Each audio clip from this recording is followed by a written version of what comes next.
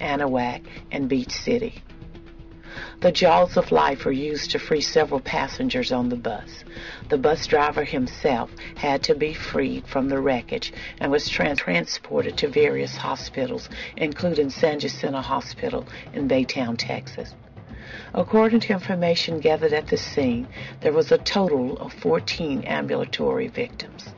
A Goose Creek school bus was dispatched to the scene to temporarily transport the non-hospitalized passengers to the Flying J restaurant on Interstate 10. There was also a fourth accident involving a car and an 18-wheeler that occurred a little farther down the road in front of the Honda dealership. Emergency crews worked for hours to free the victims and restore the traffic flow. As of the posting of this story, there were no fatalities. The crash is on the main lane, uh, just east of Wade, between Wade and John Martin.